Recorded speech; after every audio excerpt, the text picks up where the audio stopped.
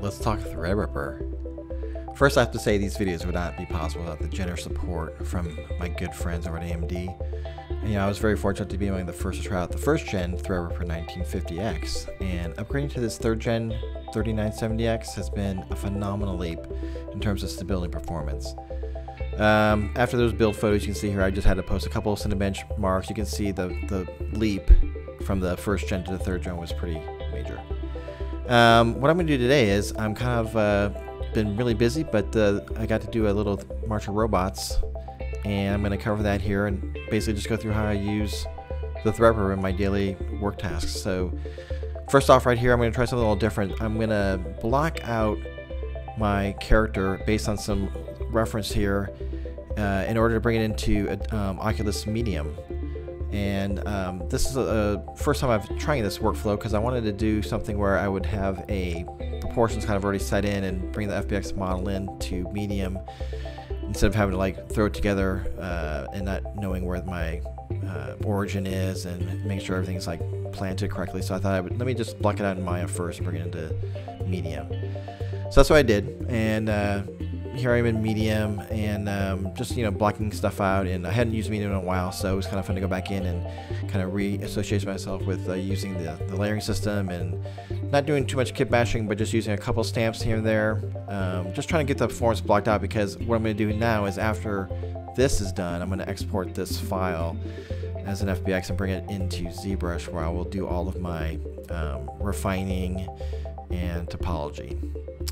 So here I am, just let's see here, just managing some of my layers, export it out, and now we're jumping over to ZBrush. And uh, the first thing I'm going to do is go through all my pieces, which I've kind of kept in layers, so they're easy to edit. And I went through and uh, did a ZRemesher on all the forms, and I'm going through and just kind of cleaning up here and there, um, keeping the hierarchy as it is so that I can go in and edit stuff um, separately. Let's see. So I'm just going through here and uh, kind of further refining some of these shapes. I think what happened was I was using that sketch as a kind of a loose reference. I wasn't trying to hit that mark exactly, but I kind of had an idea that I wanted to do something with those proportions. So that was a good guide to start off with. But then, you know, I kind of knew it along the way and it kind of things changed. And especially like coming into the ZBrush here, I started uh, figuring out where I want to maybe add some panel loops and edge loops and I'm going through here and experiment with a couple different ideas. Um, some of them I like, some I don't. I kind of go through and change up the poly grouping and then I come up with some cool cut lines and try to figure out some areas where I can segment the character up. That's what I'm doing here. And um, working a little bit on the feet.